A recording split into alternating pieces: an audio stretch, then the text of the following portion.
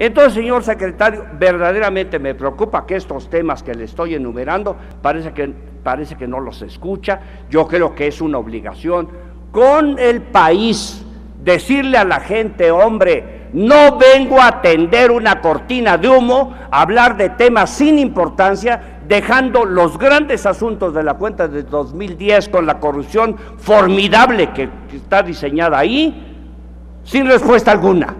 No es una forma de cumplirle a los mexicanos, no estamos hablando de partidos ni de intereses políticos, estamos hablando de una obligación que usted tiene la seguridad de poder cumplir.